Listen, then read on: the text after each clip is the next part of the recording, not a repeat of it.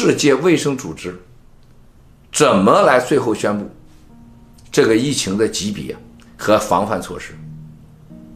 大家要看到，从昨天周末的时间，据我所知，世界卫生组织由于是中共多年控制，那就说明中国很有可能要发生疫情，和可能要知道死上千上万的人，他不需要世界知道。共产党怕啥呀？他怕的是世界卫生组织有一天会按照世界的卫生规则说出中共的疫情和公共的真相，他早就准备好了，所以他要控制世界卫生组织。所以，昨天在世界联合卫生组织发生了剧烈的碰撞，蓝金黄起作用了，N 个被共产党捏住春蛋的人。坚决不同意现在颁发。昨天本来就颁发，把中共国列为疫情区，呼吁全世界马上断绝和中共之间所有的飞行、航行的来往，进入全世界最危急的公共级别。然后呼吁全世界让中共打开防火墙，说治疗疫情第一个要打开防火墙，第二个要在全世界的联合卫生组织的监督下。每两小时让全世界公布一次疫情。第三个，接受全世界所有的生物专家、卫生专家、病毒专家到中国去成立调查研究小组。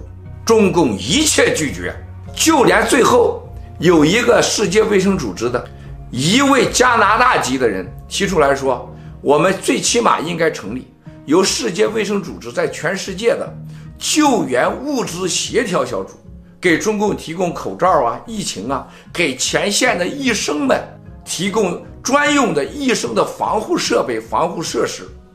所有人举手，我们国家都同意，我们都同意无偿提供。中共拒绝。头两天的火葬场全面开动使用，现在秘密下令，死人就地掩埋，不准超过二十四小时，就地掩埋呀。连烧人的钱都不愿意花了，直接就放到土里边去，让各地用推土机挖坟，直接埋掉。不许录像，不许登记。绝大多数的中国现在疫情地区全部被断了网。美国、欧洲国家相继客气的提出，我们要撤出大量的驻华的外交和人事人员。中国外交部杨洁篪啊，嚎嚎大叫啊！你们要敢这么撤，我们就怎么样怎么样。你们要走了，那就会造成真正的守回中国的人动乱、恐慌、恐惧，后果自负。这次的二零二零年疫情，不是共产党和穷人的战争，也不是共产党和所谓的财富的战争，也不是共产党和美帝国主义的战争，这是共产党的一场内部政治斗争的结果。牺牲的就是所有的湖北武汉的老百姓，这在西方的政治、军事、情报层已经得出了结论，这是中共内部斗争、政治操作一个结果。昨天本来已经很清楚的，共产党要承认是由于 P 四研究室医务人员失误造成研究非典冠状病毒导致外泄。那就承认了，这是人为的病毒。第二个，这是有人失误，但是昨天没公布，为什么？这上层的斗争是谁应该承担责任？韩正是公负责公共卫生的，王岐山过去是负责这些项目立项的，那政法委是干啥的？所有这些安全都是政法委负责的，咋办呢？这种较量。的每一秒钟就是湖北人、武汉人、中国人拿生命死、埋、吐血，这是不让你们知道真相，这是不敢让你们知道真相的根本原因。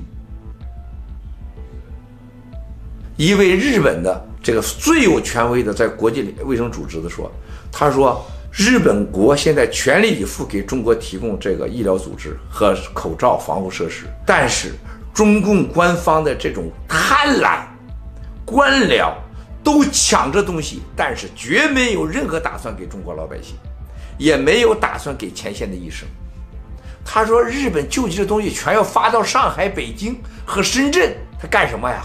人家指明要给湖北的，现在就看出就共产党希望湖北人死绝了才好呢。看看港币市场，港币市场昨天是过去三年来从爆料革命以来第一次港币场外交易跨过了九。港币和人民币出事儿，外汇会出事儿，外汇会出事儿。”中国的所有金融系统就会出事。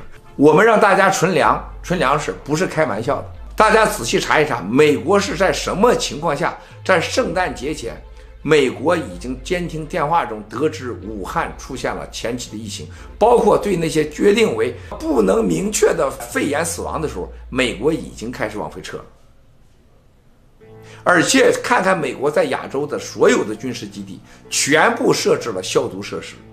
而且这几个世界上最大的疫情使用的口罩，3M 公司医疗设备商，从去年六月份到现在，大家上网谁谁都可以查，生产量提高一倍到五倍不止。没有一件事是这么简单的。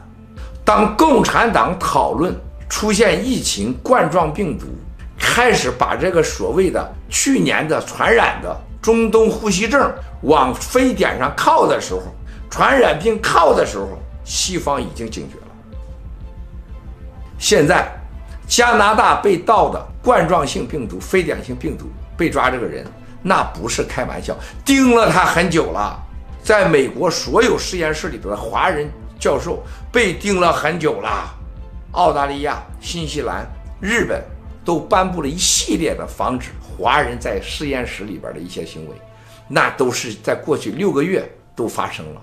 现在，全世界上的病理专家、传染病专家、公共卫生的专家，全人类都在工作。你可以暂缓昨天世界卫生组织对中国医疗护士、前线军人、警察的救援，你可以阻止世界卫生组织到中国调调查真相，你可以阻止中国的互联网发布出各种死亡和疫情的真相，你也可以操纵中央电视台。但是记住，共产党。你今天有多能耐的操作这些事情，你就会付出多少倍的代价。共产党今年你被干掉是百分之百，你再挣扎也没用。所以我好愿意让那小蚂蚁变成那串串爱。